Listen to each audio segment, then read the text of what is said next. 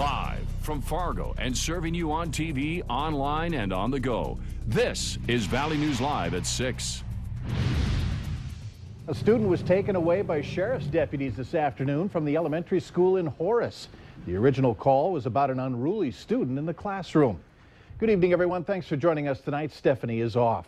The West Fargo School District says it was an isolated disturbance caused by the student, and there was no danger to other students or teachers. Today's disruption follows recent student on teacher assaults in the Twin Cities. Yesterday in Ramsey County, a 13 year old student in St. Paul punched a teacher in the face.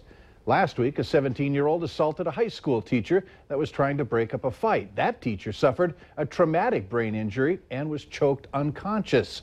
Valley News Team's Ashley Bishop today asked those studying to be educators if they ever thought that teacher assaults and violence would be part of the job.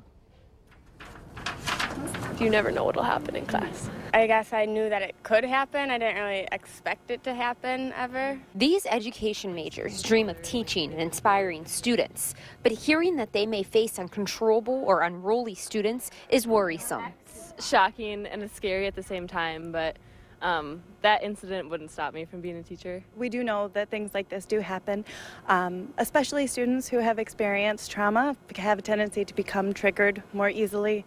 Abigail Bremer is a former public school teacher. She says she is sad to hear of the recent assaults on educators. I think that those students themselves were they were good people who were making poor choices based on negative environments.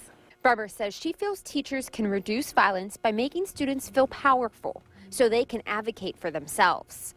Some education students feel that times have changed, and that also means classroom etiquette. I feel like the respect has just kind of like went down. Like it used to be, you would never talk back to your teachers, you would never talk out of turn, but now it's just kind of like they kind of do what they want. In Moorhead, Ashley Bishop, Valley News Live. We reached out to Moorhead, Fargo, and West Fargo school districts to get reaction from teachers in the classroom. All three districts said they didn't have teachers available. West Fargo says they don't see teacher assaults an issue in the metro. Fargo says if a student assaults a teacher, they would face disciplinary action and that their staff works to monitor behavior of any concern. An arrest warrant's been issued for a man wanted for starting a fire at the Juba Coffee House and Restaurant in Grand Forks. Police are looking for 25-year-old Matthew Gust of East Grand Forks.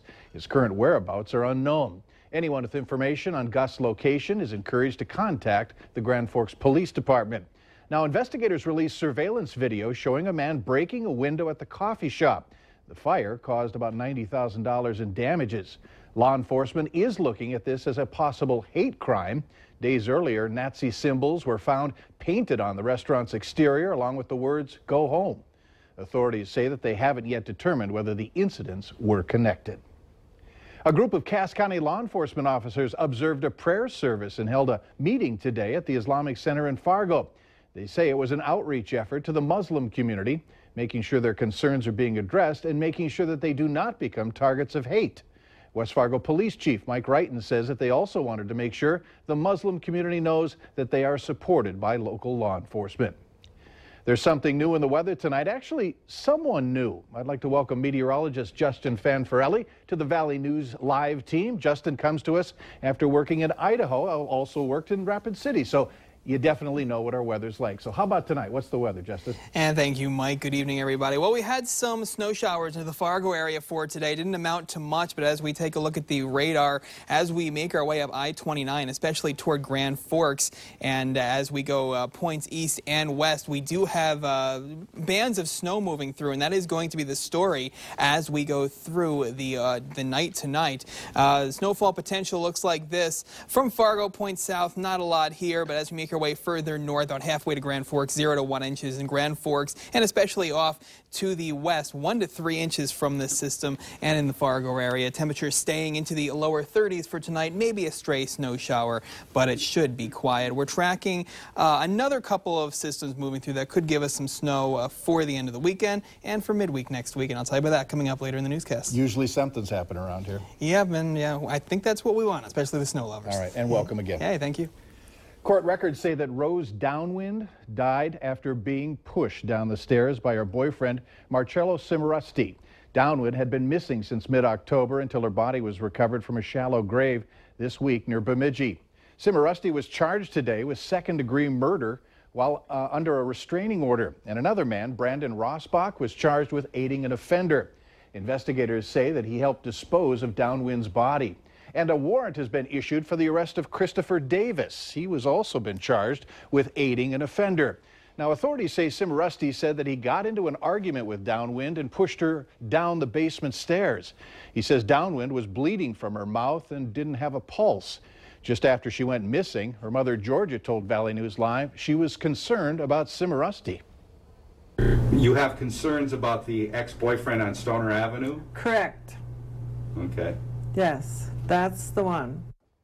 Cimarusti told police he insisted, uh, enlisted the help of Rossbach and Davis to move Downwind's body to the vehicle, along with bags of styrofoam and a tank of gas.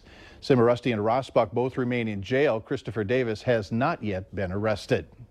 Investigators say that Nerf Wars was the cause of a crash that killed two Lakeville, Minnesota students and injured two others last week. The game started at the school and continued later on, according to investigators. Several Nerf guns were recovered at the scene. Only one of the four occupants in the truck was wearing a seatbelt at the time of the crash. Investigators also say they found no evidence that any of the passengers in the bed of the pickup truck when the accident happened. Police are not calling the accident a distracted driving incident at this time because they haven't been able to talk with 17-year-old who was driving at the time. He's still listed in critical condition. A Bagley, Minnesota man with a long history of domestic abuse is back behind bars tonight. Robert Oliver is accused of attacking a woman in her Erskine, Minnesota apartment. Court records say that Oliver has had children with the victim. He's currently in the Polk County Jail charged with felony, domestic assault, and domestic assault by strangulation. He was already convicted of three other domestic assault charges in 2012 and 2013. It's Friday. Of course, it's time to take a look at this week's Valley's Most Wanted. Nathaniel Fairbanks Gray Eagle. There you see his picture on the screen. He's wanted for felony terrorizing. Call your local law enforcement agency if you have any information on his whereabouts. The North Dakota Board of Animal Health lifted a ban that halted bird movement to shows, exhibits, and public sales within the state of North Dakota. The ban was put into place in April to help protect North Dakota's poultry industry during the nationwide outbreak of avian influenza. Although the ban is lifted, the state's veterinarian reminds bird owners to immediately report unusual death loss to their local and state veterinarian. Nationally, the outbreak affected over 48 million birds in 15 states. A number of off-duty and volunteer firefighters rang bells today to raise money for the Salvation Army. The firefighters are competing against FM realtors and off-duty law enforcement to see which group can raise the most money on their day of ringing. All of the funds raised during this challenge will go toward the Red Kettle campaign. Habitat for Humanity will benefit from Saturday's recycled art show and silent auction that will be held at Dakota Medical Foundation.